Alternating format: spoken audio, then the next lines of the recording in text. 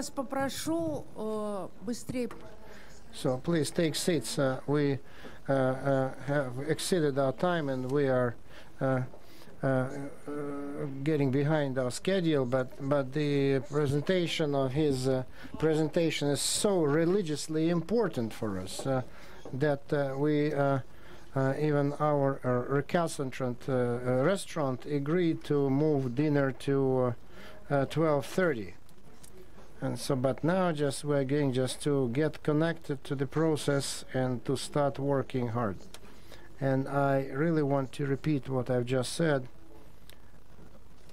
And uh, uh, we're going to have a wonderful speaker so a great economist uh, and a practitioner and uh, a scientific researcher uh, and, and a builder uh, of modern scientific uh, economic education.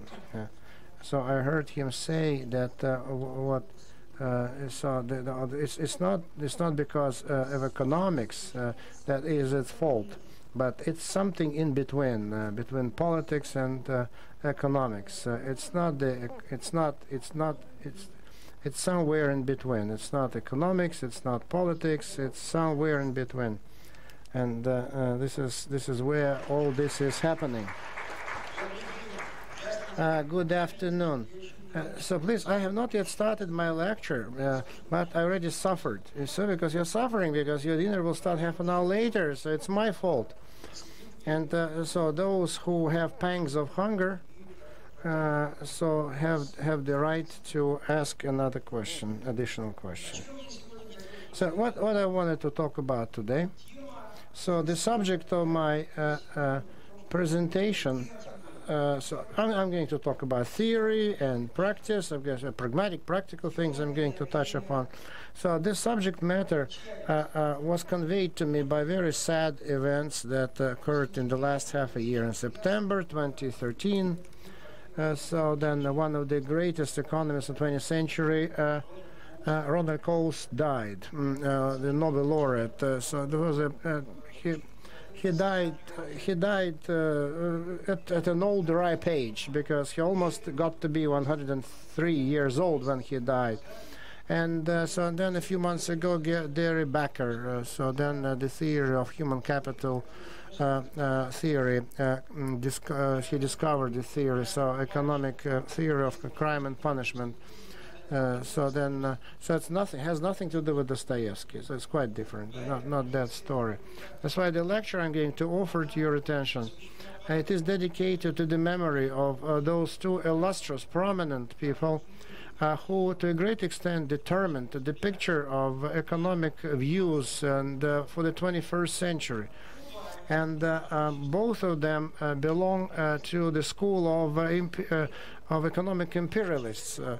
Uh, so who were answering? With the help of the methods so they answered social issues political issues uh, they found answers so interdisciplinary sphere that's where they were so strong and that's where they concentrated their research efforts and this is the sphere uh, where uh, a lot of uh, uh, interesting things occur uh, so the way I'm going to uh, construct this lecture, so there'll be two specific parts. So first I will talk about the economic theory, and then I'll move over to some practical things, because what what we mean by optimization of the state, and uh, in different states, uh, this notion it's interpreted differently as this reduction of administrative barriers, creation of uh, specific uh, climate, cli- climate, business climate, etc. This is all polis- politics that, that, is uh, uh, this is connected to the economic theory and the uh, in the economic theory of law it's connected to it as well and I am part uh, uh, of this policy. Just I was uh, I, I participated in development of this policy in Russia, in Azerbaijan, Kazakhstan, and a little bit to a lesser extent in Ukraine.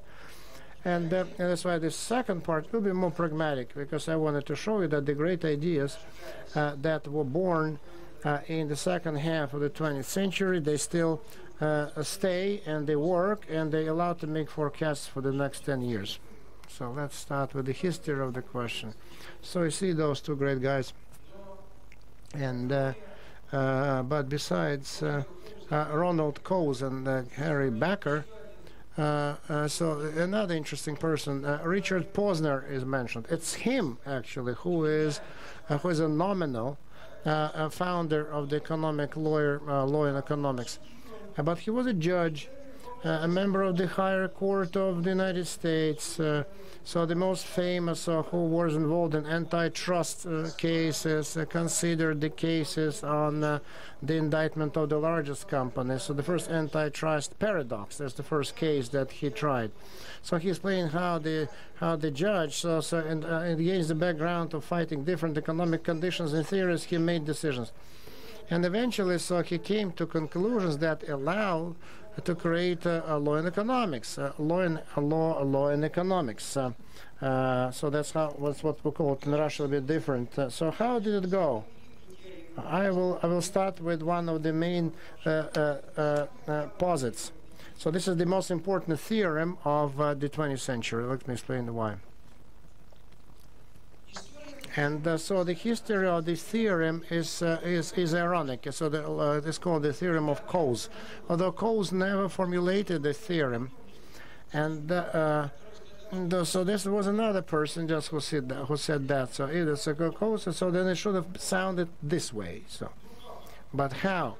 Uh, so, for example, if the transactional costs are zero, then the placement of resources is efficient irrespective of the original distribution of, pro of property rights. And uh, so there's a more difficult definition uh, of the Coase uh, theorem. Theorem. So about 20, 20, 20 years they, they quarreled how to interpret uh, this Coase theorem. And he and Coase watched silently, and then he said, "That's exactly what I thought it would be. That's the way you I I thought you would interpret it." And so this illustrious guy, at the end of the day, uh, uh, is uh, not uh, not so much the author of this theorem, but the, he's the discoverer of the fact without which it's it's impossible to understand how the economic theory existed for the for the previous two, 300 years. Can you imagine physicists uh, uh, who are convinced that all the processes occur in vacuum? Can you imagine? And it works out that they have certain models, theories, uh, uh but they have nothing to do with real life. Because because in life we have friction, we have inertia, and the, the, the friction, and, and, and, so this is a transactional cost. This. Mm. By the way, uh, those words do not belong to me. Uh, not all the smart guys have died. Some of them are still alive, and uh, perhaps at this table too. Um, there is uh, a great UK uh, economist, uh, Mr. Arrow, who said that. in fact, Coase discovered the friction forces in economics since uh, um, people, unfortunately, are not that uh, uh, smart and honest. I think you are all adults and you uh, can guess that this is the thesis that should not be proved, although it cannot be proved. And uh, communications between people are costly. They create certain difficulties and costs, and they generate costs. And in this world, we can watch uh, the forces of social friction, which are transactional costs. Why is it important to understand the world as a whole? Uh, the best uh, human definition of the uh, Coase theorem was offered by our great friend, uh, uh, Ms. Ludmila Alexeyeva. Uh, Ludmila uh, keeps on saying that in this world uh, everything will settle down, uh, but uh, settle down not uh, to the best effect. So this is exactly the definition or the interpretation of the Coase theorem. Because if uh, transactional costs in this world are positive, then no project uh, in a perfect case cannot be fully completed because it will be opposed by some resistance. Uh, so solutions will not be most optimal, no matter if the project was liberal, socialist, or conservative. Uh, there is always room for improvement, and uh, nothing is perfect. But uh, uh instead, there is always a chance of diversity. That's the social sense of the theorem, and the theorem served the foundation for a number of new directions and scientific areas, including the law and economics theory. Since Richard Posner when he uh, quit as a judge and turned into a major uh, uh, scholar. Uh, sometimes uh, it's referred to as the Posner theorem, sometimes it's referred to as Posner rule, but the idea, the rationale behind that is based on uh, the Coase uh, theorem. And it is that since uh, it's impossible or it's uh, very seldom that one can find uh, equality be- uh, and equations uh, because of the frictions and uh, transactional costs. Then we need to take such uh, decisions and introduce such standards and institutions that would uh, simulate uh, what the market would do if there were zero transactional costs. so the law is required in this world to oppose uh, the uh, uh, transactional costs. That's the conclusion ensuing from the Coase theorem. So what about Harry Becker? He dealt with uh, human capital and uh, he uh, really uh, made uh, all officials and bureaucrats of the world quite happy because the uh, letters could not understand why they distributed the budget for uh, healthcare, for education, but when Harry Becker introduced the notion of uh, human capital and its growth, all officials, all uh, bureaucrats were uh, really happy because they uh, can uh, really report to legislators, to governments, saying that that's the scholars, the academic point of view, how to calculate. But some 15 years later, it uh, turned out that, that great human capital uh, models uh, didn't work. Why? Because they suggested that people uh, took decisions uh, uh, which university to apply and what professions to get based on their vision which professions uh, would be uh, in demand in 10 years. But uh, first of all, they cannot know what professions will be in demand in 10 years. And it's not the young people who took the, normally the decisions, their parents. Uh, because parents knew which uh, professions were in demand. They, they had graduated from universities. So the real process was really opposed uh, by the fact that uh, people were uh, limited in their rational thinking. And the uh, theory of human capital is very useful, but it's very naive and it doesn't cope with a number of factors. So they didn't work. And the name of Harry Becker um, would be the synonym of great uh, uh, mistakes and errors. Uh, if he hadn't uh, developed a new economic theory, the theory of uh, crime and punishment, uh, that already accounted for um, uh, those irrational behavior and uh, positive transactional costs. So I'm not going to go deeper into uh, those details. Uh, so uh, if you don't show the formula or the model, uh, you may have doubts uh, who the economist is. Uh, Harry Becker and me, myself, we are both. Now let's see what uh, the uh, formula entails. There are three uh, mm, conflicting conclusions, or paradoxical conclusion that uh, uh, were noticed uh, by the people who are studying that. Uh, first of all, they were uh, crimi- criminologists. Uh, criminologists is an interdisciplinary area when various people, social, uh, social, uh, soc- uh, social analysts, psychology analysts deal with crime. But when economists interfered into this sphere with their method, the first statement really puzzled everybody because the economists said that crime would never be defeated. Never. Because uh, combating crime is a process which uh, needs costs. Uh, and those costs uh, uh, to catch a last uh, criminal will be excessively high because otherwise you would not be able to support an orphan G or uh, to develop some vaccine because you will be uh, busy uh, catching that last criminal.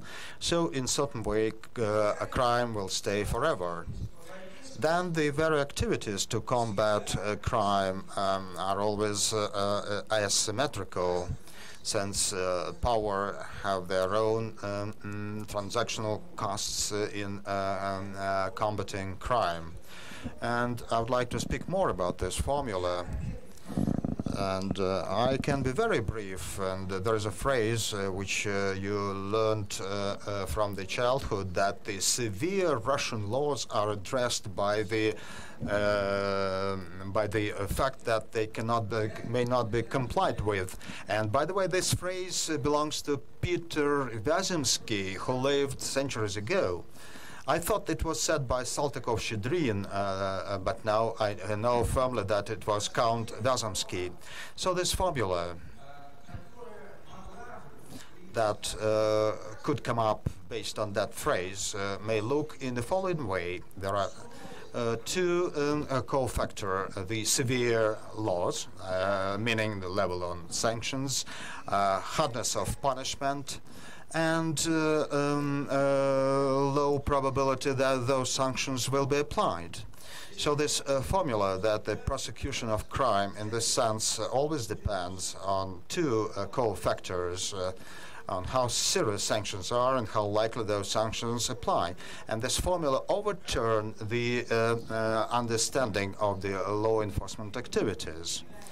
Now let's recall a great Coase around uh, the discovery of friction forces. What is uh, more, uh, what is easier for the government, for the state to say, the uh, change the level of sanctions or to change the likelihood of catching the criminal? First, of course. Uh, uh, uh, to change the uh, severity of sanctions, you just uh, have to amend uh, regulations, and it's not about only the severity of punishment. It can also do with liberalization or humanization of, of the criminal codes when um, imprisonment is replaced with fines or some other fees, and those sanctions can bring more revenues to the state. Uh, death penalty is more economical than uh, imprisonment because in prison, uh, well, it's not quite clear who supports uh, uh, another's party. I don't think that the prisoner uh, makes so much that he can be sustained with his produce. But if a criminal is killed, it's easy and it's cheap. And if uh, uh, the uh, property is confiscated or fine is imposed, it's also beneficial for the state. And let's think what is to be done in order to enhance the likelihood of punishment of the real criminal. It's not only that we need the police, investigators, and agents to find that uh, uh, criminal. They can find him, but uh, then barristers come saying that at that time of the crime, that man was feeding doves and didn't commit any crime. So the prosecution will be required to prove that the criminal is guilty. It's time-consuming and it's costly. But uh, this is exactly the aspect of the uh, uh law uh, which uh, stipulates the need for the human rights. If there are no standards of human rights, then the activities of any state is confined uh, to the first co-factor because we are changing the sanction and apply the most, the cheapest uh, means, whether it is um, uh, death penalty or uh, operation conducted by the armed forces, not the police, because uh, army acts quite more simple. some neighborhood is surrounded, running terrorists are shot at.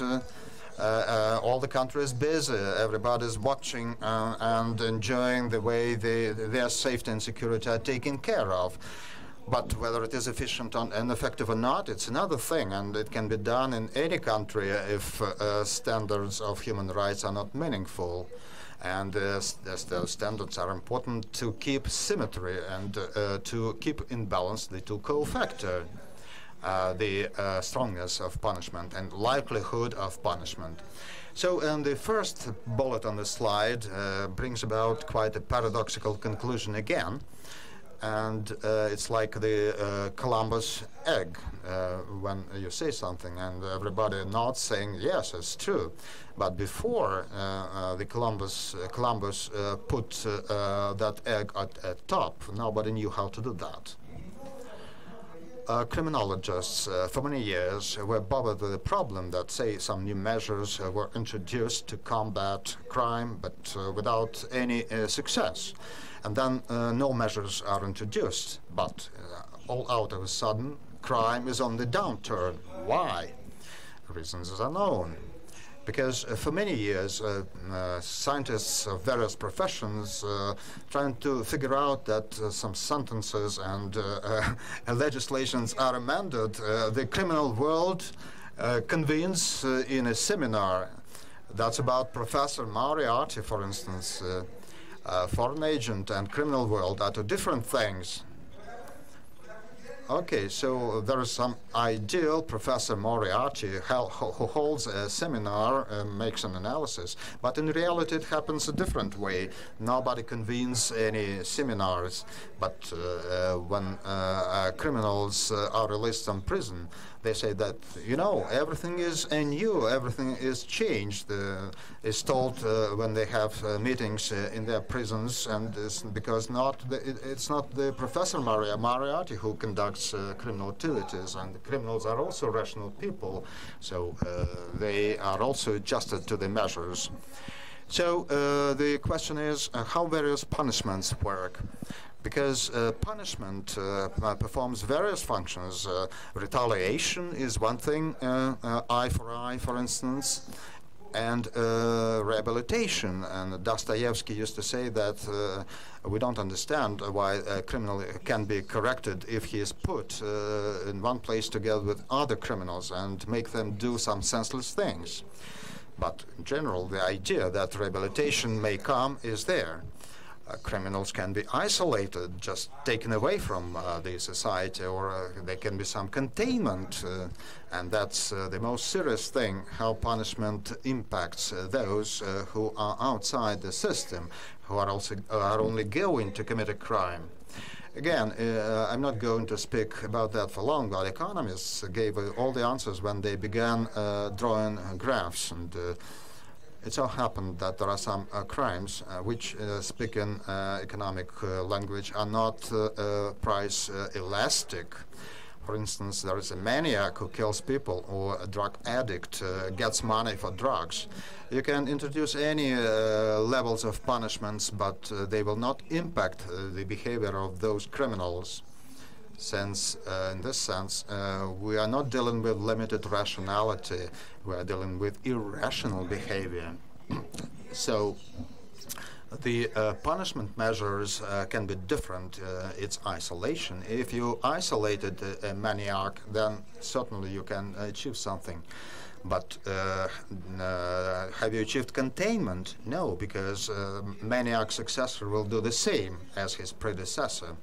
And speaking of containment, perhaps uh, we uh, reach uh, the most uh, important intercivilizational problem of today, and that the problem of death penalty. Looks like the most effective way to contain crime is uh, to threaten criminals with death penalties. And uh, certainly it's uh,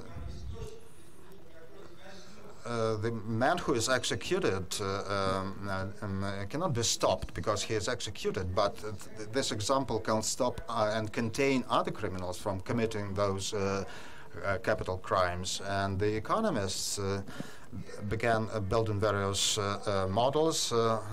Isaac Ehrlich's one of the most popular of them, and it's based in, on the American law. Uh, that um, uh, each uh, death penalty saves the lives of 15 people. Um, Europe was shocked with that. Asia got surprised, and some additional research started. I'd like to say that by today, in uh, science, it's a European uh, opinion that uh, has triumphed, uh, saying that death penalty is not efficient and effective. This graph shows the uh, level of criminal activities in two uh, countries. Donahue Zimring did that, and it's based on Hong Kong and Singapore statistics in one of the uh, states, uh, death penalty uh, and execution were expanded. In uh, in the other, uh, it was abolished, and it was in the same period of time, 1993, 1994. Look at the graph. Uh, if you see the difference, please tell me what the difference is. so it means that the death penalty availability or non-availability do not impact um, crime rate at all. And why was Europe convinced in the first place? And that the main um, uh, difference between Europe and uh, America in that, why did America start looking for uh, those uh, um, um, facts uh, in the first place?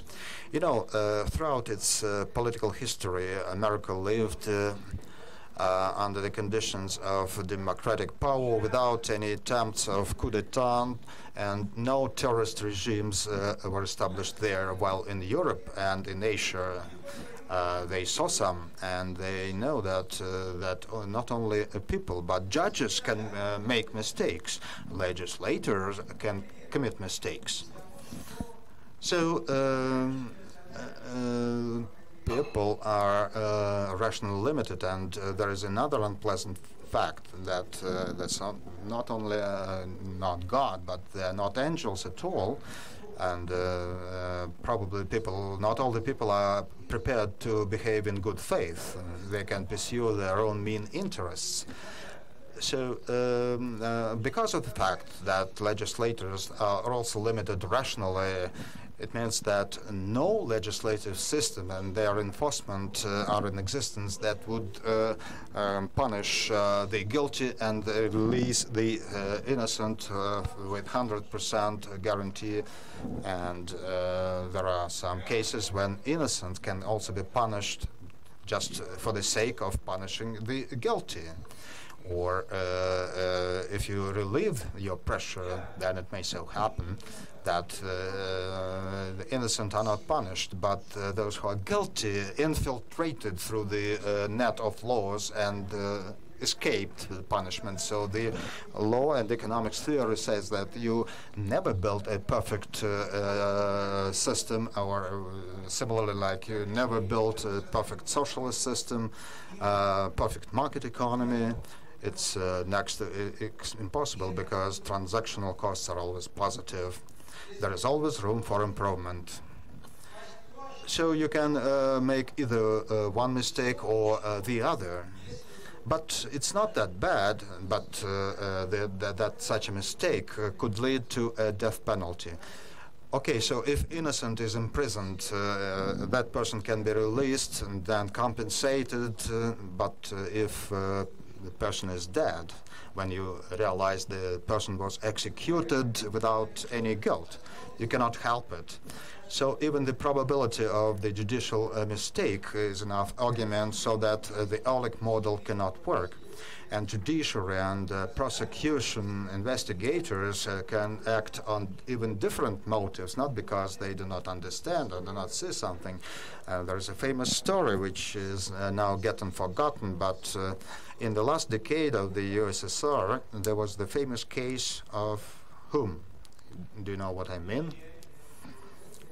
Yes, uh, uh, uh, supermarket, food uh, store. Uh, its director was uh, sentenced to death, but he started uh, given evidence uh, to criminal uh, connections on top.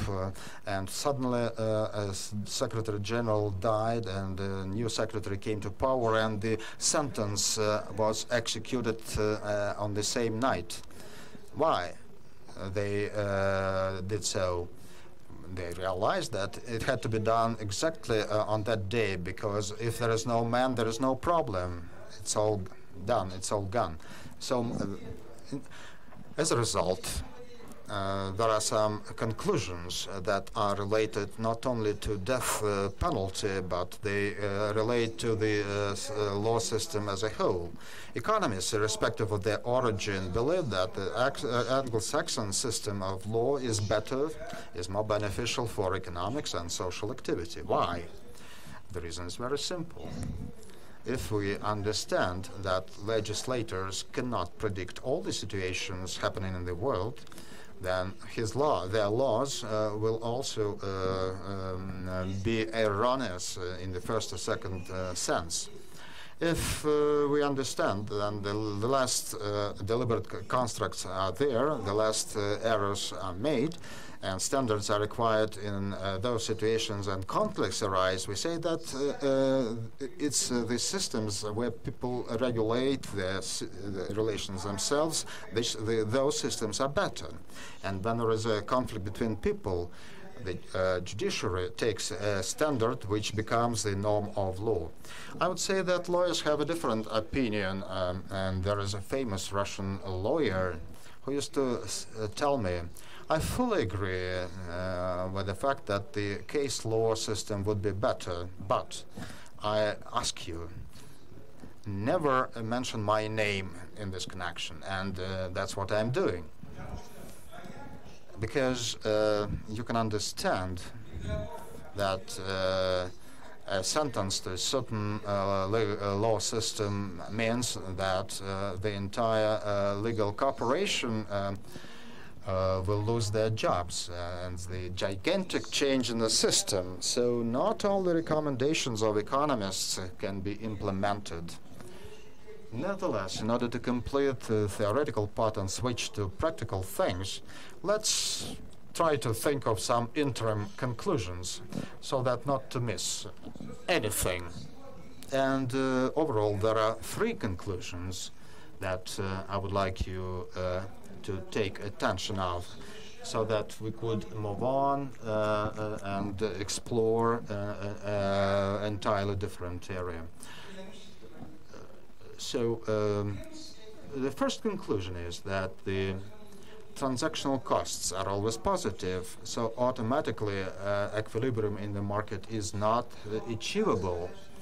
But uh, that's precisely why we need some legal and law standards. Uh, um, but the producers of uh, law institutions uh, uh, runners with limited rationality can make the mistakes and errors of the first of the uh, second uh, level, and the state uh, is not only trying to make up for the lack of automatic equilibrium, but in its place is the source of transactional costs and needs streamlining or optimization.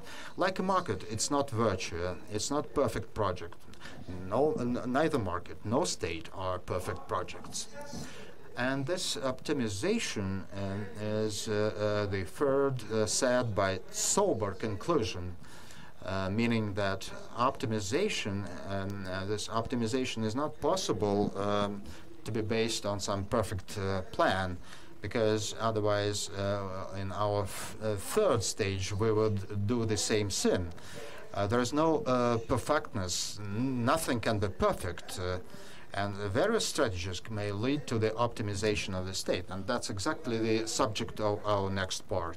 Let's switch to the practice immediately, trying to see how different countries, countries that are not uh, distant from each other, resolve the issue of optimization of their states and that is uh, uh, um, uh, reduction of transactional costs in economic language, in political uh, language, it's called uh, administrative uh, barriers, and in the language of indices, it's the uh, indice of uh, uh, doing business or business climate. That's graph shows how Ukraine, Belarus, Russia, and Georgia um, made their progress. The lower the curve is, the better result is since uh, we are talking about the uh, reduction of uh, transactional costs, lowering administrative barriers, and very sad results um, showed Ukraine. we might have guessed that in the first place and that uh, Ukraine uh, has accumulated a great burden of problems so that it burst out the way it did. Russia uh, is doing better than Ukraine, but not that good. Uh, performance of uh, Kazakhstan are much better. Belarus uh, uh, curve uh, is like that. They first followed Russia's track and then they switched to Kazakhstan track. Belarus leaders revised their optimization strategy. And I think uh, uh, it's Georgia who achieved most radical result. And since uh, it's mostly about the years of Saakashvili's reforms. So th those results uh, were achieved at that time. So let's talk about the uh, alternative strategies results and. Uh, uh, Uh, you know, th those are results uh, that really show, and uh, uh what is um, um, beyond uh, 2013 and beyond 2014.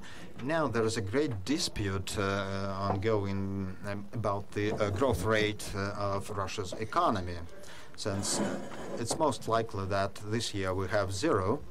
The Ministry of Economy believes it will be 0.5%, but that's within the limits of just the statistic error. If nothing bad happens, uh, which can always happen, then it will be zero. But uh, uh, the desired result is not zero. And it's not that, uh, it's not only that zero is bad as uh, the title, but uh, in the countries with an accumulated burden of problems um, related to infrastructure, or there is a great gap between the rich and the poor, some high growth rates are to be maintained. Well, uh, China is normally praised, uh, but uh, should China drop its growth annual growth rate lower than six percent, China will die they cannot uh, uh, develop at a slow rate because uh, there are disbalances and disorders and discrepancies. So we can all, cannot all allow three or one or two percent as Germany can. No less than 4% per year because of the social rifts. Uh, the uh, the uh, low strata of the society already feel the situation worsening. So indeed, if uh, the growth development is under 4%, uh, that is already felt. Um, if uh, I were to be asked by the Prime Minister uh, to grow uh, mm, uh, the economy by 12% in 2015, we can do that. But do not then ask us what is going to happen to the country in 2016 and 2017.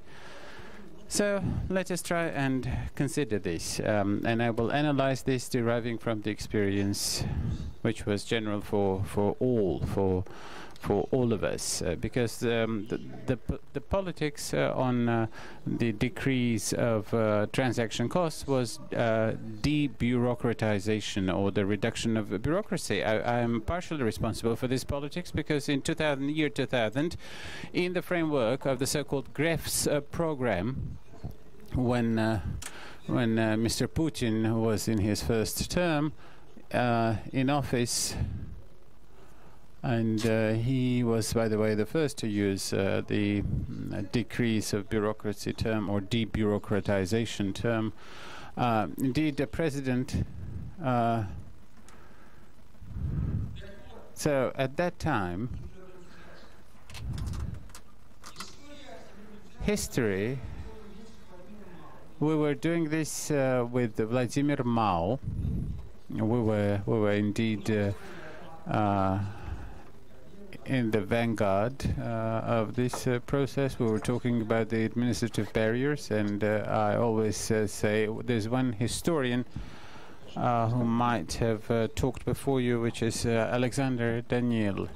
He, he says that whenever the same event in Russia can be um, uh, can be uh, uh, explained by conspiracy or the mess up, uh, I definitely say that it's uh, the mess up and not a conspiracy. Um, of course, people are not angels, uh, and we know that for sure.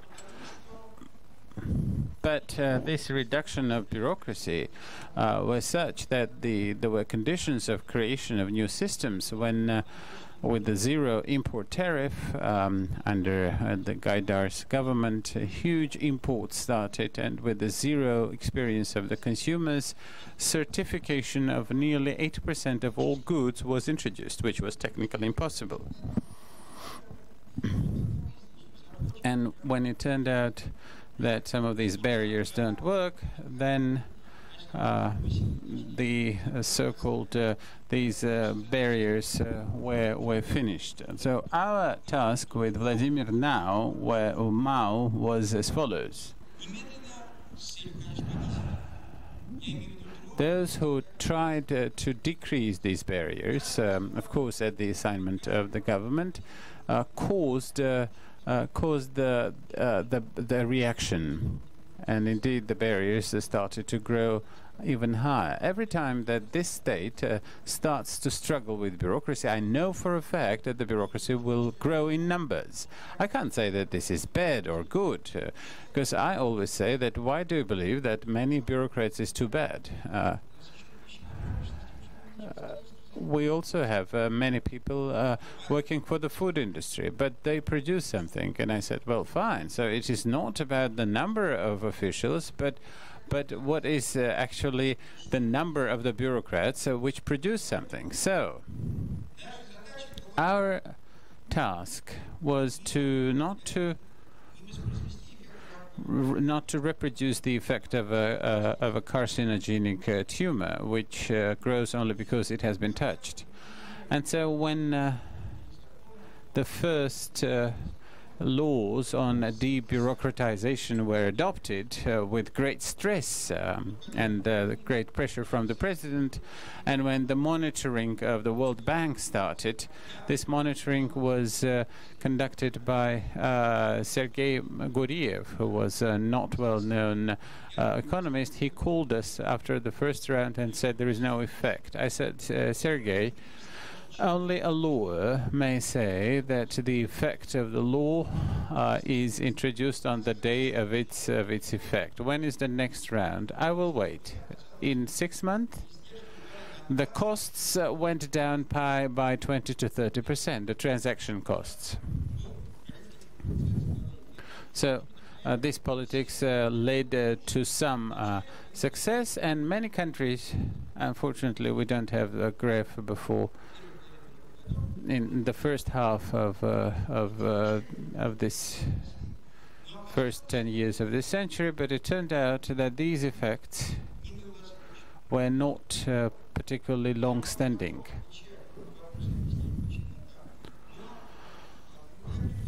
I will cite one example.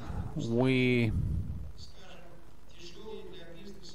uh, were able to remove some of the sanitary inspection barriers. But with that said, we would not have been able to take this through the parliament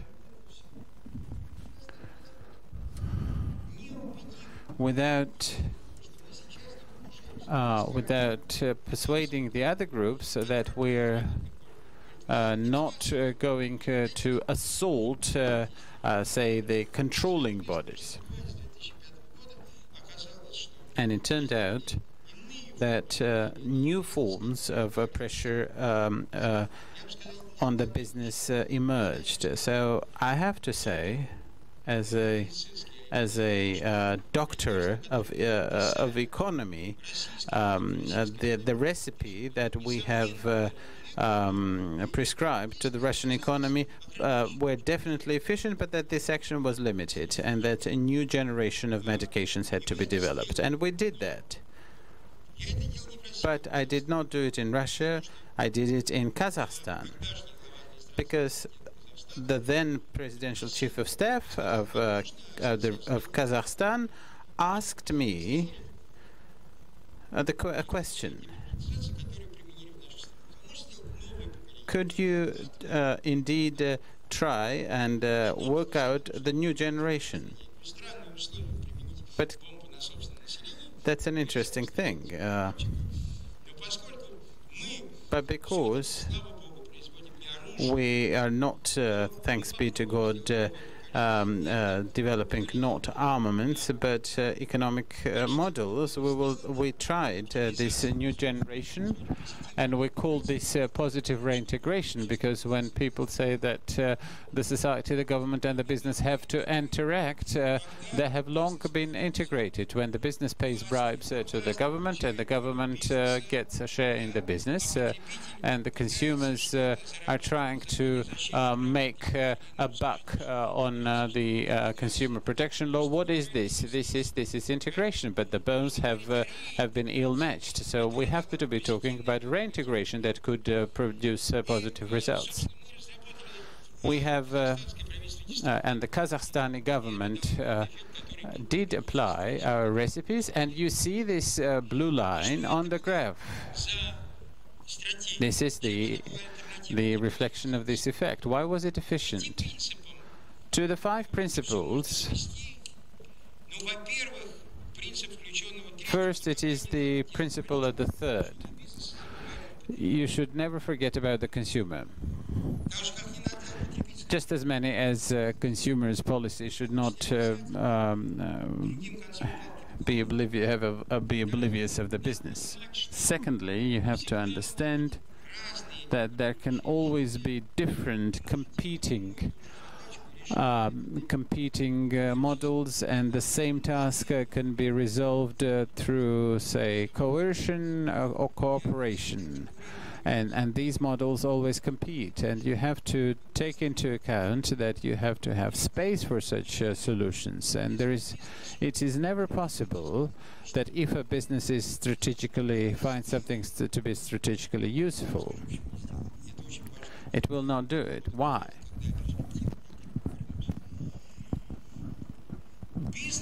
business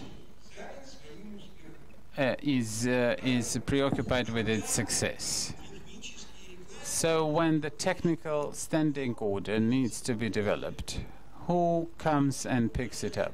Those who have uh, uh, who have who are facing the danger of being kicked out from the market. What do they have to do not to be kicked out of the market? They have uh, to to uh, um, change uh, uh, the uh, the conditions, and they need to cover the costs. So your costs will be covered in, in one way or another. And I have to tell you how, how the Kazakhs did it. They introduced a mandatory membership in the Chamber of Commerce. A mandatory membership with a nominal membership fee and a large uh, uh, fee for the big business. That's one of the ways uh, to solve this. Mandatory, mandatory um, membership within uh, the um, what I was most criticized of, especially in Russia, uh, that was the principle of reasonable compensation. I said that uh, that there are always influential groups of bureaucracy which are against reforms and that need to be taken into account and that reforms need to be bought from them. How? You, you, you, what do you mean? So you are uh, proposing uh, to buy them out? Well, and I would ask, uh, well, what do you want? Uh, do you want to make the reformers minesweepers? Because, yes, in our countries, bureaucracy has real uh, influence. Yes, it needs to be said that this bureaucracy has its uh, interest. And if uh, these interests are not introduced, if um, the balance has not been struck, then uh, um, you don't, uh, your, your, value is, is, is zero. You will confined uh, to just beautiful plans and nothing will come out of this. Who will, uh, who will be who will be propagating this, these plans? Uh, and I will try to quote uh, what do I mean by compensation, having told you about a successful case of such compensation. This not need not necessarily be uh, be uh, monetary compensation. This can be compensation in kind or um, the head uh, of uh, the uh, um, Mr. Boris Alyoshin, the head of the Committee for Economic um, Reforms, I was asked to be an arbiter uh, in licensing of the cartographic uh, um, activities. And I said to myself, I do not understand anything about this. You will understand. I was told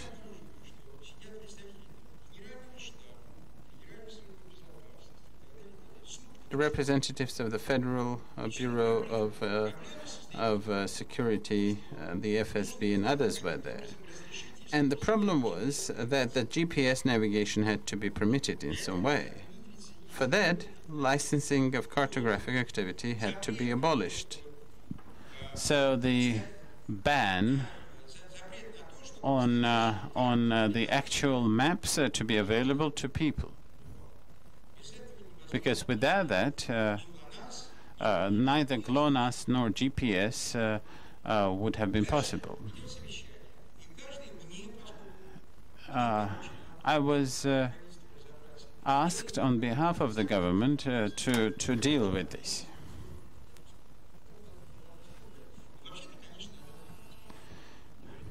And I said, well, uh, please uh, tell me what is the problem? Why are you uh, for the abolishing, but as an agency you're against this? Well, there are people working there. There are special people who are uh, responsible for the fact that these officers, generals, and so on and so forth. all right, I understand. How how how long uh, do the generals have, have to serve? For about two to three years. All right. I said, uh, and is there enough time for them to requalify? Yes.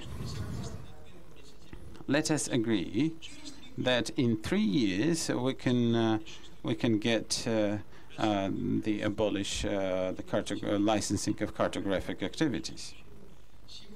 On radio, I hear in three years that uh, cartographic activities are now permitted. So it was a compensation deal. And such compensation deals and uh, and uh, and compromises need to be uh, made.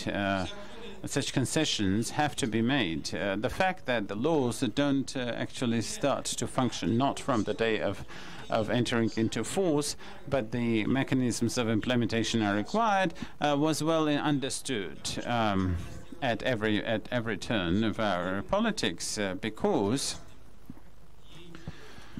at that time we worked with uh, um, Andrei Barazbash, uh, a series of cartoons uh, that uh, had to support a debureaucratization over 10 years ago. You don't remember that. It's all right. That was, uh, and when German Gref, uh, the Minister of Economy, said, all right, let's, let us remove these cartoons there was nothing insulting about, uh, you know, but uh, the system uh, had been criticized. And the system of control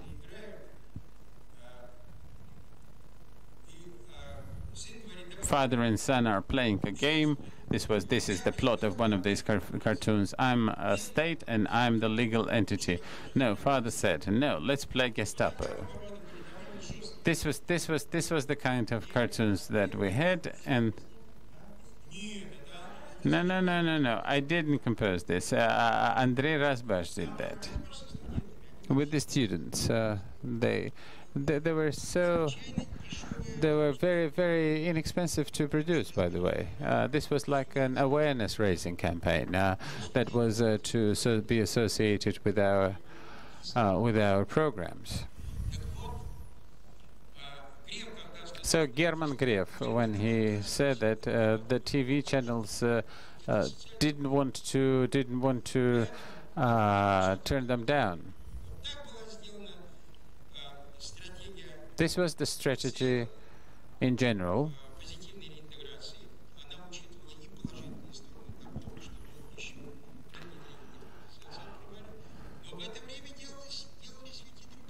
But there was a time when uh, there were other versions available. Let us look at this uh, slide,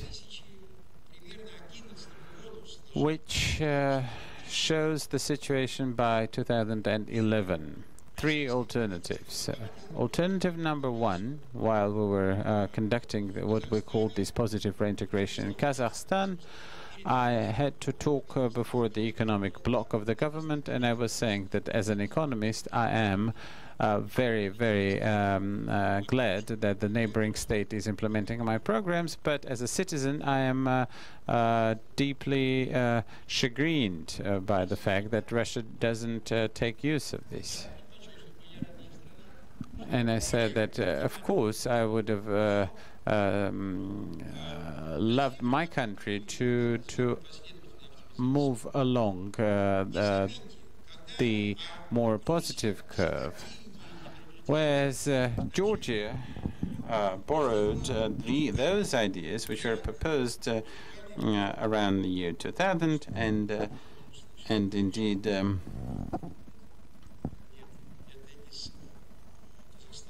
and and we can see this from Kazakhstan.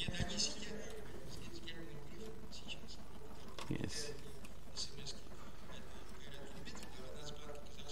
Kairat Kelimbetov, uh, the the head of the Central Bank of Kazakhstan.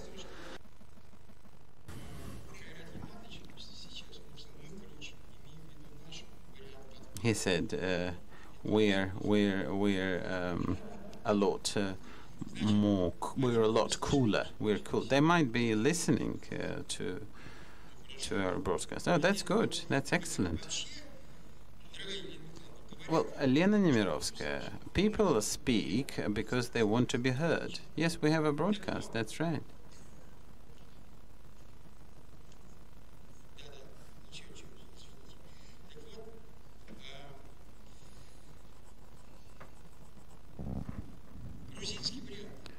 The Georgian um, uh, option. Indeed, Kakha Bendukidze dealt with this and we were working on this uh, on these um, issues together with him and then he stopped from being uh, a Russian uh, businessman and uh, was uh, turned into a Georgian minister for economic development who said when he was leaving for Georgia because the Georgian economy is dead any uh, the, even the boldest experiments are possible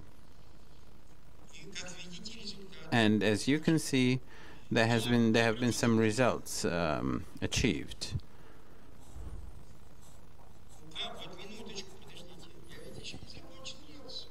Well, I have not finished my lecture yet.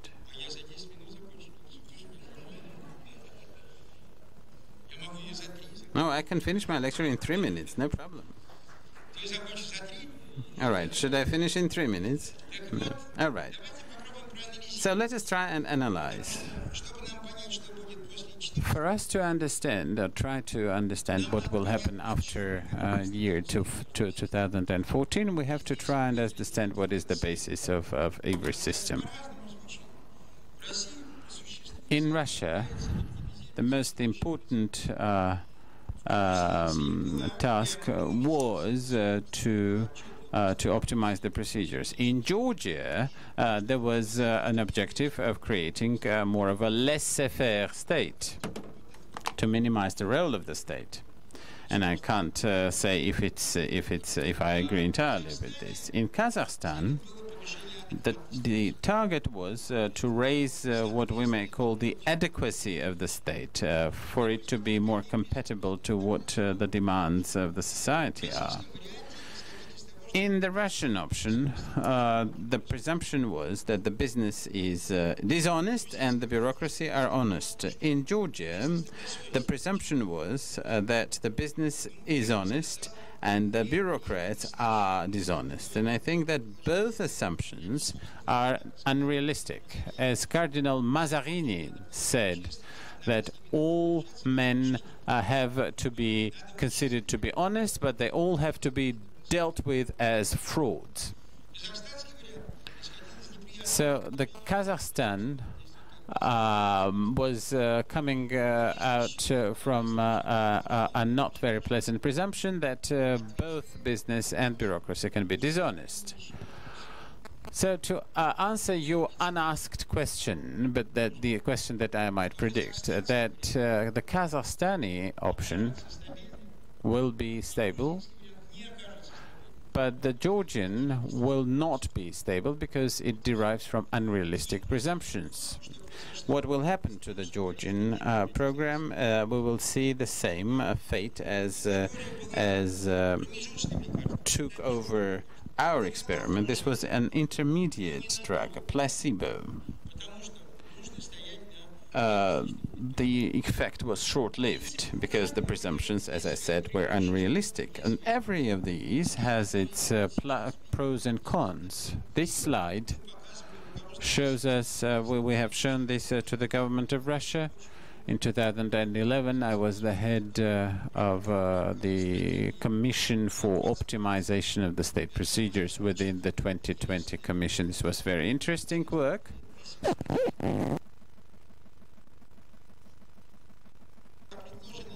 Participated by over 1,000 Russian economists. We were told at the beginning of 2011, what did you want? You wanted these programs to be author-based. You wanted these uh, developments to be to have alternatives. Is that right? Yes, we said. All right, we agree. It was not possible to to. There were two economists who turned down the proposal.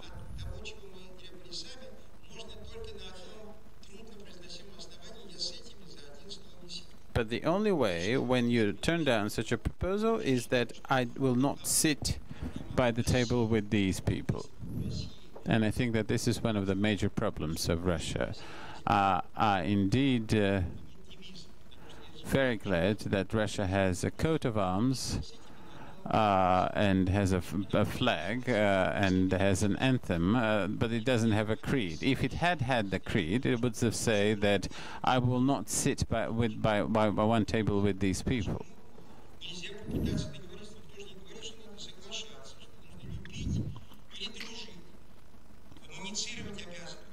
People have to communicate. People have to talk.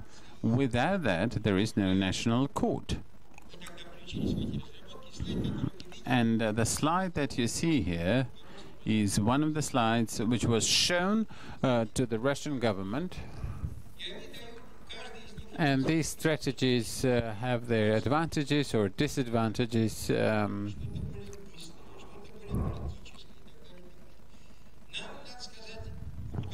we uh, were asked a question by the government uh, to to we were asked what do we have to do? What do we have to sacrifice? Or what do we have to perform to enter one or another strategy? In a, in a, in one week after this uh, meeting at the government offices, uh, we made uh, this slide um, and uh, showed that it is not easy to enter one of these strategic pools but uh, some strategies are easier to embark on than others.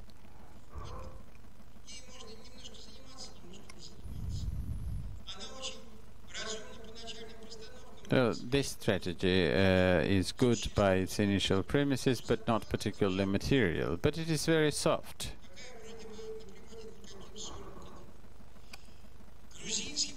The Georgian variant of uh, or option of uh, um, debureaucratization or the radical debureau, it is a political. Uh, um, it is based on a political will. It requires uh, reconsidering of, of, of very important laws.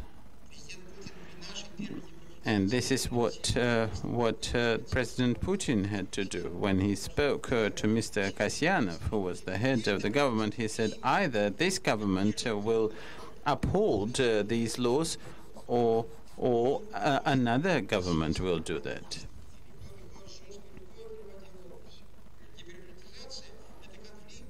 And these were very conflicting decisions.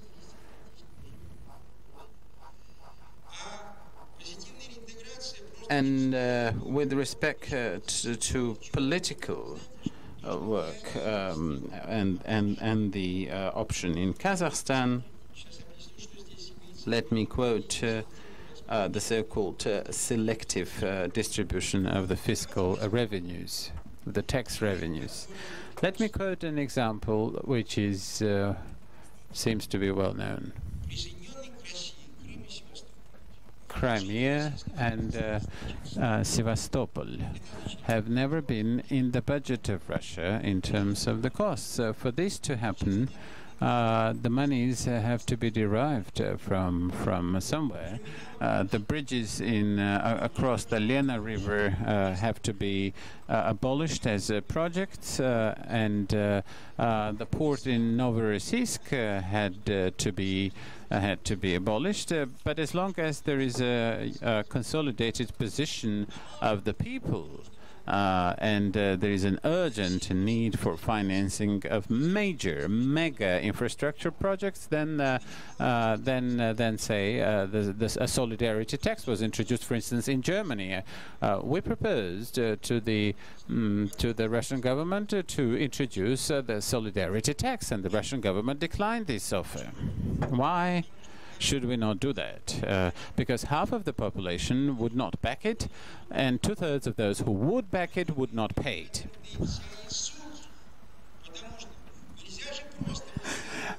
And indeed, so you can't confine yourselves to just say, say, to saying that, uh, oh, I like that, or you know, I like I like this particular.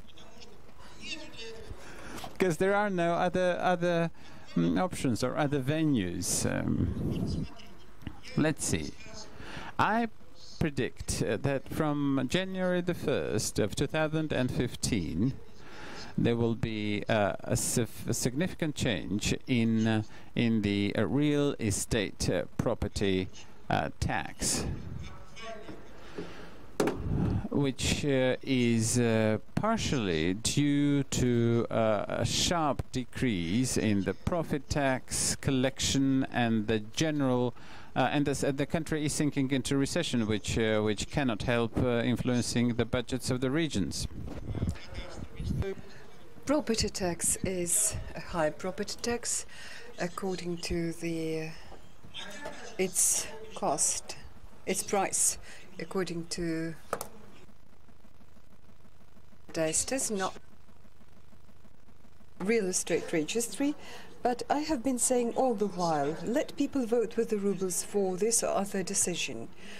Uh, whether you spend it on infrastructure, housing, it's like um, savings pension. At that, Ministry of Finance are happy about this. They say, let people vote with their ruble because when money sort of, when you think about how you're about to spend the money, then there's another sort of closer link between the state and its citizens. So far, we haven't done it. Actually, I'm pleased that we insisted upon other things. Let's see how it remains to be done. Given that under the uh, official slower economic growth, investment into in, in human capital will not go down. Why? Because my idea was, and I'm very thankful to economists who supported it. Under slowing growth and recession, any government, actually speaking, looking for a good multiplier. That means such expense. It look like very much like in 2009, 2008. Hand out the money to the population when, uh, to the public when they raised the pensions. Politically, it was very good. Economically, sort of leveled off the nasty impact of reform. We could also invest into defense um, industry. It's a good multiplier, at least in part, the hysteric that is going on in the country because of the geopolitical question has very good economic economic explanation. Remember 1914, nobody wanted a war. And then look, bam, bam. Um, when in three months they killed two million people, they just. It was too late. It was too late to go down by the sort of heated up economy. There was no word that they knew at the time multiply, but this is what happened. What about human capital? In a decade, it wouldn't give you a positive multiplier. In 10 years, it will, yes, later return with positive. But nobody will want to invest in it. And as we leave the crisis sometime in the 2020s, uh, 2015, competitive advantage of the countries will be determined solely by whether they can produce high quality human capital or not. This is why I insisted when we have fewer and fewer revenue, less and less revenue, investment into human capital should not go down. This is where the Premier and agreed with me. So as usual, the score is one to one. With your permission, I would make my conclusions about these strategies of optimization of the state, and then we'll move to the Q&A session. Yes, indeed, we should take into consideration transaction costs because of opportunistic behavior and possible mistakes or malafide actions. Yes, a strategy that in part or unilaterally takes it into consideration is not stable, even if it produces good results. Yes, indeed. It's hard to move from one policy to another course. It always has to do with high cost and major decisions that have to be taken. It always uh, affects the interests of um, some party or another. Anyway, it's always a political decision about which strategy we're about to adopt. Yes, you're right. You can never get a perfect solution that will suit everybody. The competition between the strategies will go on and every way, every strategy that will enhance uh, the solutions if it is finding good new solutions. That's why economic theory of law, Coase theorem, economic theory of crime and punishment, all these things that are really elevated, very broad, but very much applicable. This is about our life today. What you need to do, you need to do how this works, how this can be applied. And then not can you only design sort of your policy, but also predict what will happen in certain countries, certainly with a certain degree of probability. Thank you.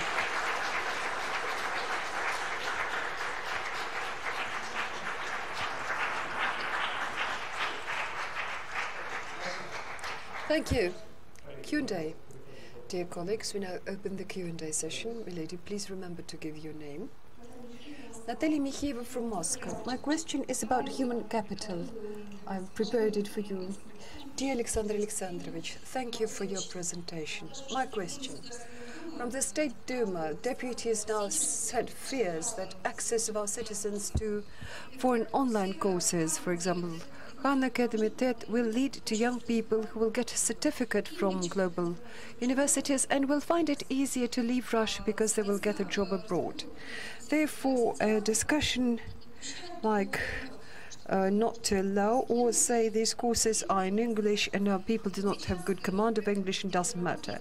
Nowadays, volunteers, several hundred, maybe several thousand, uh, translate Coursera so the question is what the Moscow State University or maybe your department and maybe the university community is going to take about this. And for example, why is it in Coursera, just for comparison, con conventional course is 2,000 rubles and you cannot even, you know, buy it out later on. But I've looked at um, MSU site is worth 6,000 rubles and I mean this remote learning course and tourism 25,000. In our case in Russia, you have to personally report to to to be for an exam, whereas in Coursera it's all remote. And it's interesting that to be enlisted in remote course, you must send a copy of your passport and other documents. Such a difficult question. First of all, may I point out that we looked very carefully. There's a special program for that matter Meanwhile, тем временем, a special that Alexander Arkhangelsky produced about this course, online courses. You can look it up in the archive of the issues.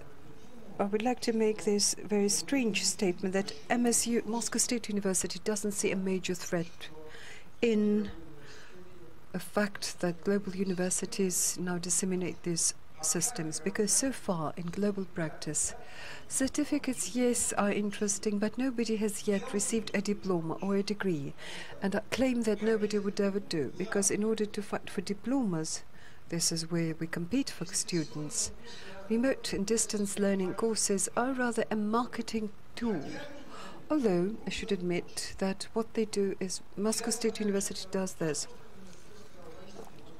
I suppose Moscow State University has truly become a university on the 13th of April in 2013. This is my big day because this is when we started to deliver special courses where, which be attended by students from many departments. Every student has to attend at least four courses, sign up for courses in other departments, or anything between 4 to 12, or even 16 if I'm not mistaken. Okay, let, let it be 12, just for argument's sake. And they are diverse courses. I was very happy when my students from my department, I can see what they uh, sign up for. Well, we were the leader. We have 2.5 thousand students who attend our department and 2.5 thousand from other 40 departments or faculties, what we call.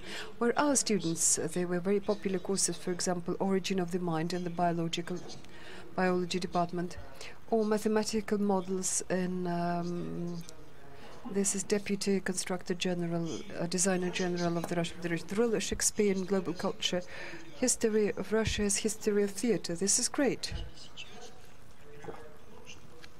So nowadays we're making up like we used like 10 years ago, Stanford University began to do just the basis for its global influence.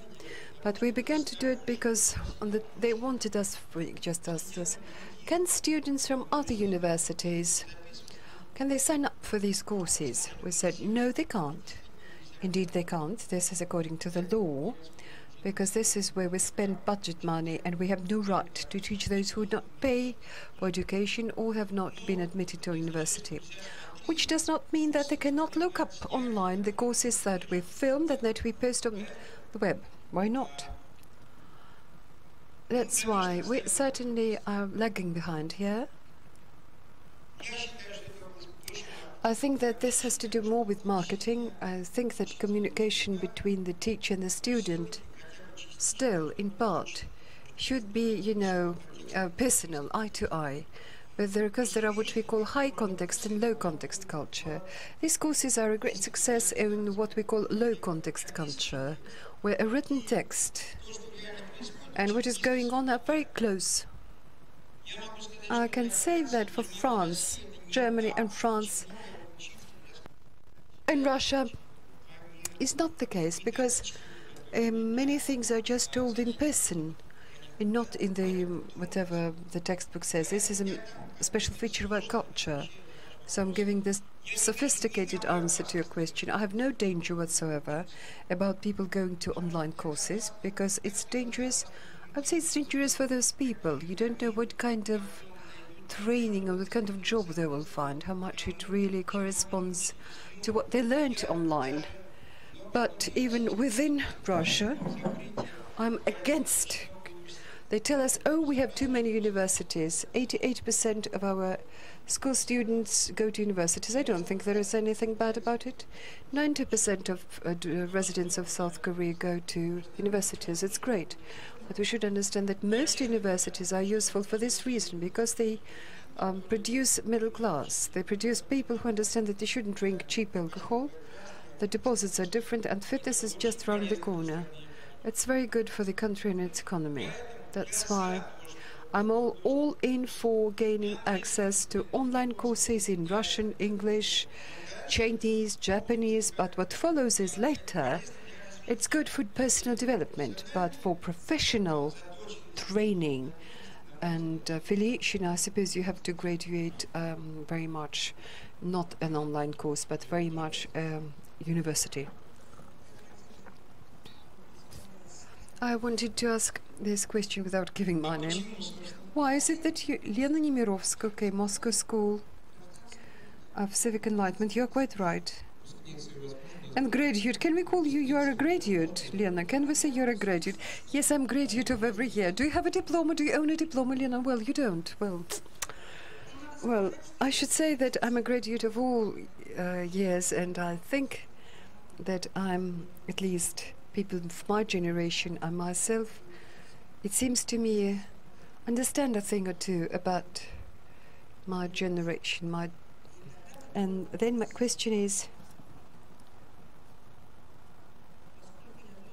Since I also think that that the profession and something else, this add-on thing, this is what makes a modern person. And this civic sort of add-on, uh, what we are speaking about, I wanted to tell you since this is such a severe, uh, repressive, punitive idea about such organizations like us. What, why are we there? What are we needed for? In all this education structure. Well, Lena, first of all, I'm surprised that you think that you are a graduate of the schools. Because I keep telling, I, I, I've never learned economy, economics. I just teach people. Because in my day, there was. I never actually passed any exams. I've just read some books and now I think I can teach. For that matter, it's not. It's a shortcoming because we haven't graduated from many academies or universities. That is the old Soviet joke. But I would put it this way. In my view, in principle, the system of education is needed for three things. First, and this is what everybody understands, well, growing human capital, professional competencies that could be used by, in more competencies, greater salary, greater sales, greater compensation. Everybody understands that. However, there is another second product of this kind of system. This is what a nation should get a certain set of diverse professions and people. For that matter, it was perfectly understood by Napoleon Bonaparte. Although Adam Smith, although he didn't use this name, but he spoke that universities, we shouldn't give them any money, let the students pay for getting education from professors, and then in the market they will get the money back because their skills would sell. This is when Napoleon Bonaparte thought that the state should give money to the university, but it shouldn't give any money for research and science because it's some unknown matter. Uh, this is some, and uh, this is, but and there is a third product. Education uh, is reproducing the culture of a nation. This is a certain set of values and attitudes, understanding what is good, what is bad.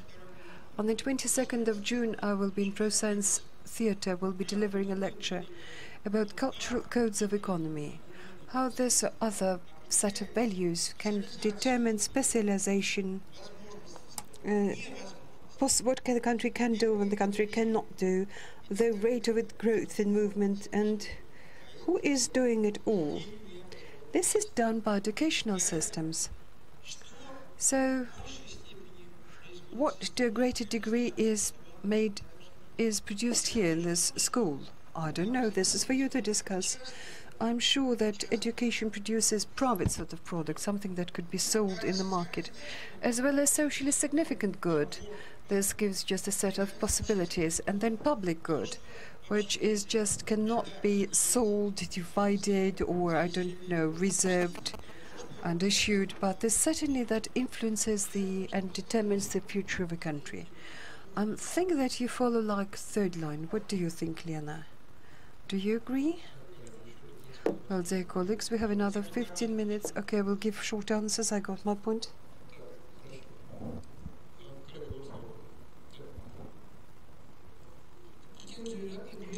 Ken Irakli from Georgia, Price Waterhouse Coopers. Very interesting lecture.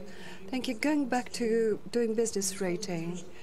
Uh, well, you just put it that Georgian reform, it's all based upon, there is no realistic uh, prerequisite for that. But in my view, economy of Kazakhstan, say, and of Georgia, they are fundamentally different, as well as their realities is different. If we go back to your graph, in your, you think that it will all go up, right?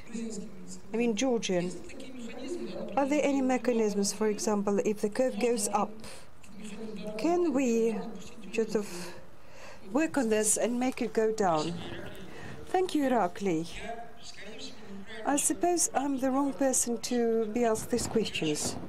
because I was an author for debureaucratization of Russia and positive integration of Kazakhstan.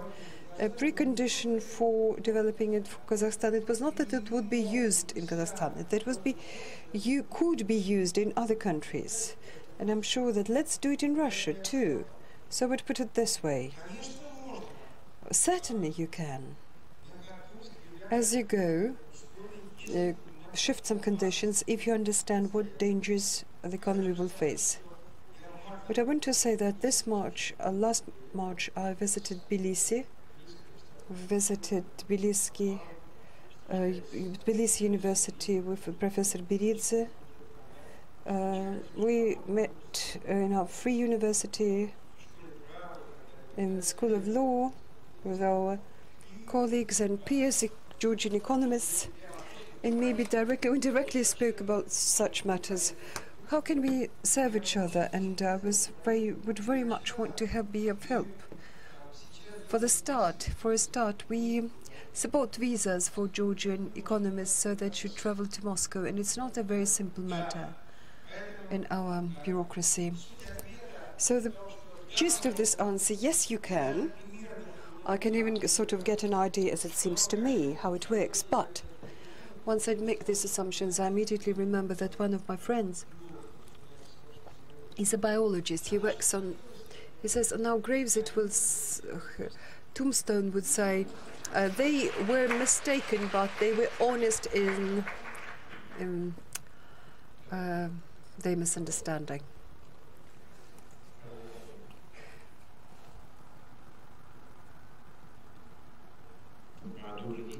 Good day. Lev Gordon from Izhevsk. A very simple question. From our perspective, we look at activation, activation of SME and what we can see right now, based upon global experience and our own workings, it's very important to shift the focus of activity from federal to municipal level because this is where people live.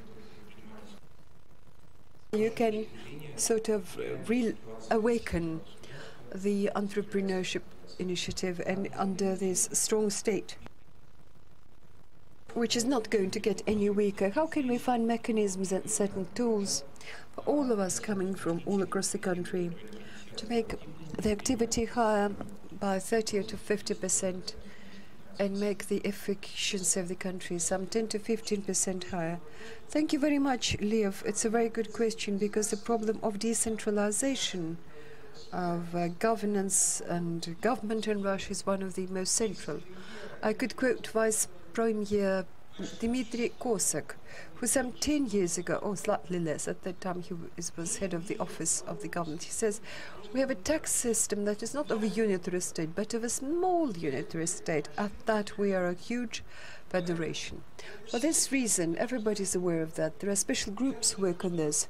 I would put it this way economists all are for expanding the rights of the regions. Why the regions?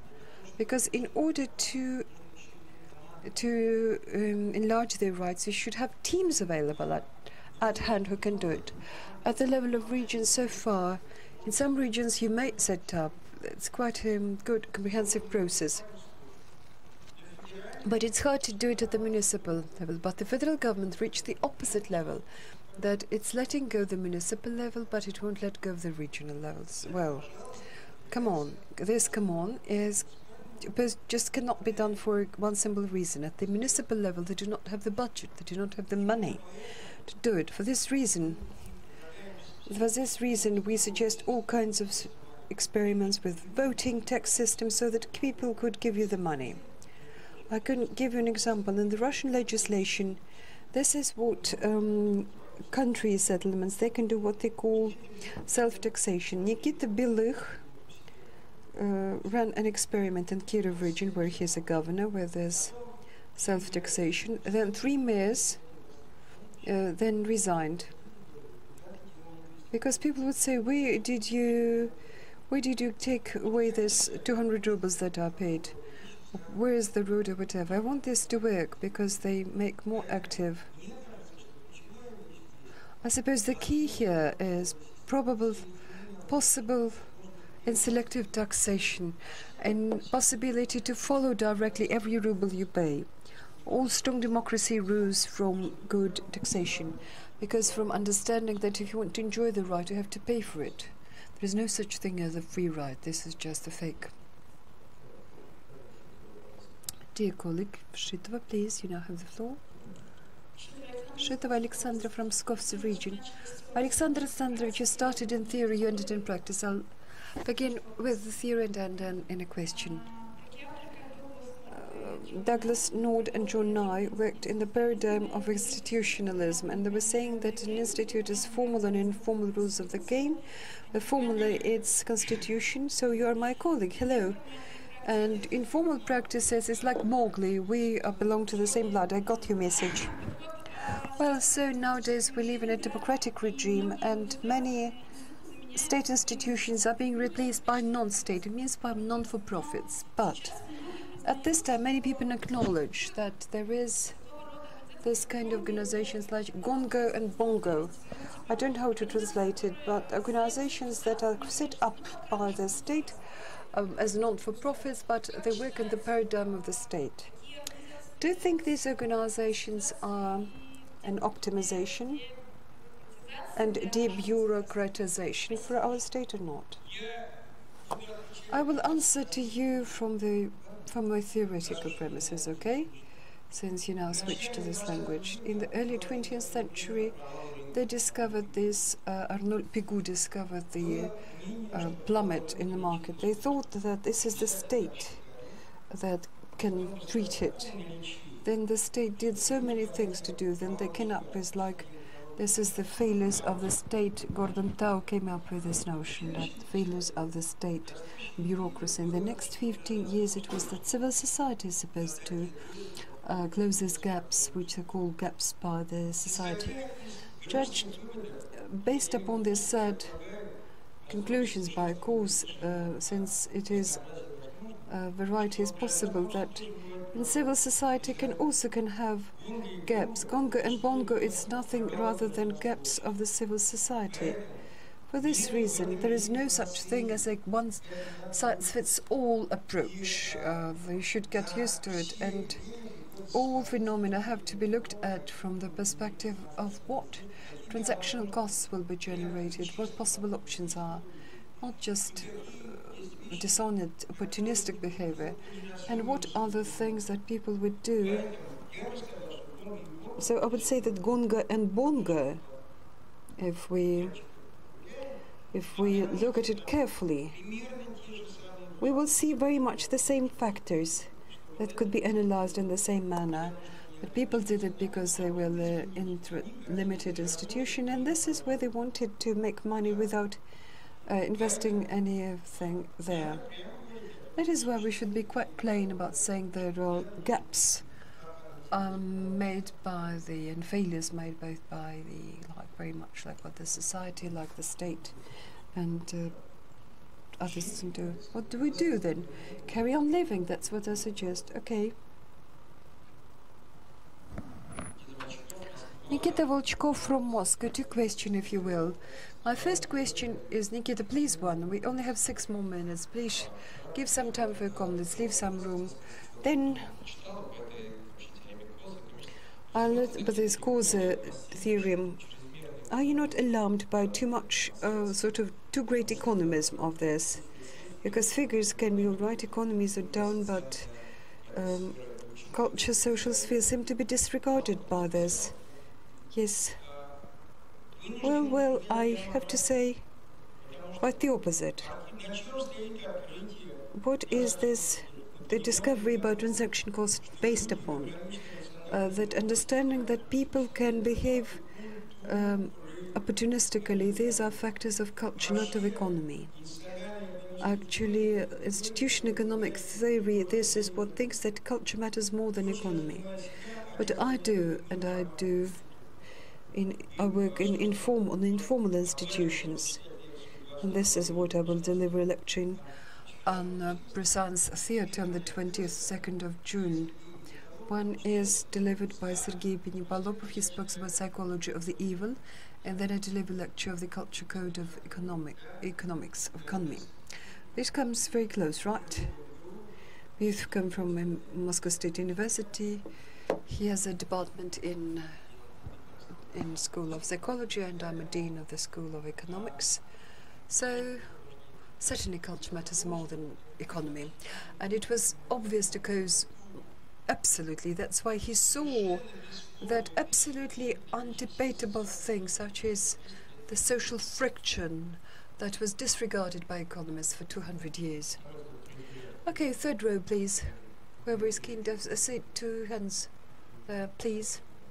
Lady, please. Anna Zakarian from Volgograd.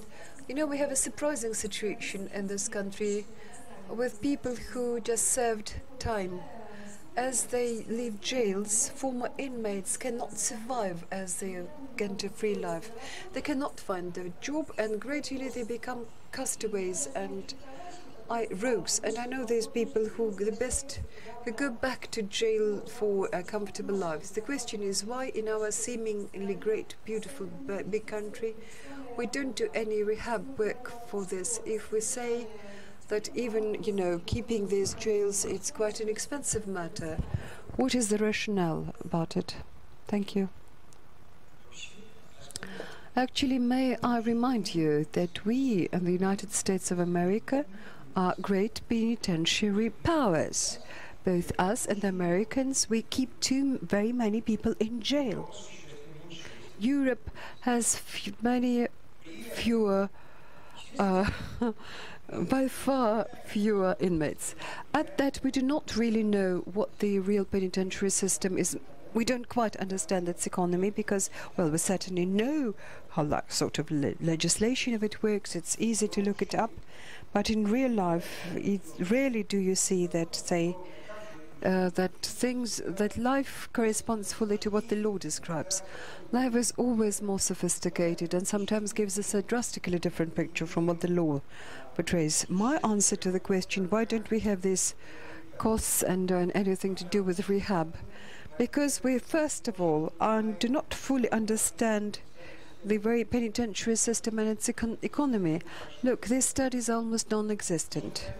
I should point out that two years ago we began to draft this closed seminar about penitentiary right behind the closed doors because we had to get the attendance by the Federal Service of the Penitentiary to have an honest talk how it really works. But unfortunately, uh, there are other reasons, and uh, some events happened which just cancelled this event on a regular basis. And otherwise, I fully agree with you that this is really a major problem, but I don't know what answer to give to your question.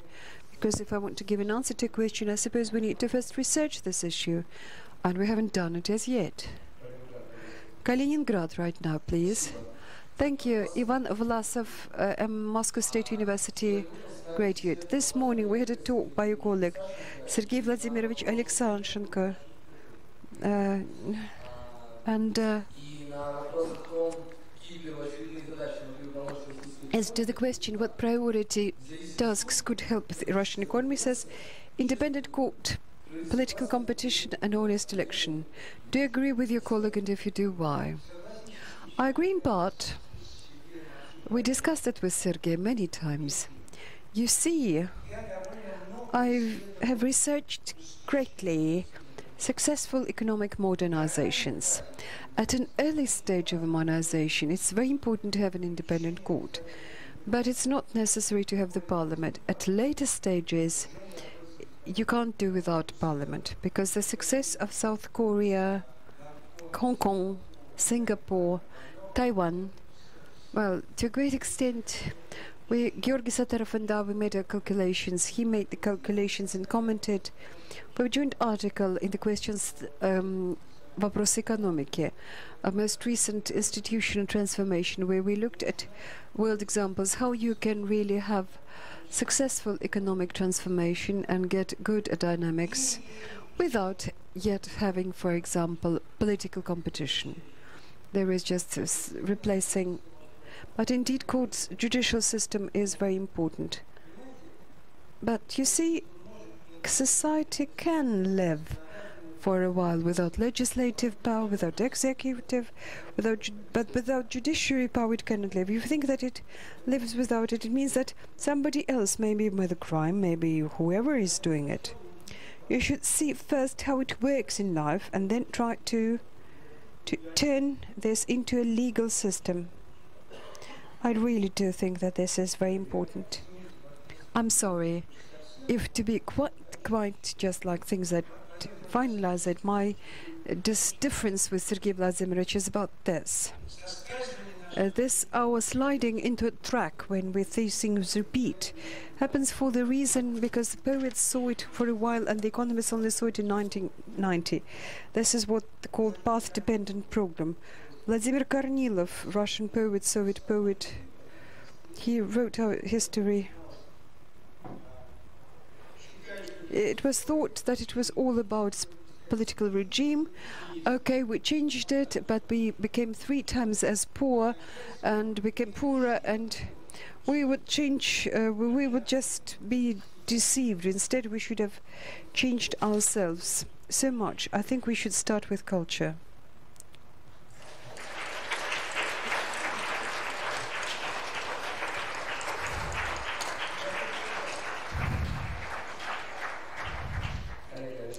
Dear colleagues, Alexander Alexandrovich uh, makes us a present by spoiling us by attending every, coming here every year, and we ap- appreciate it highly.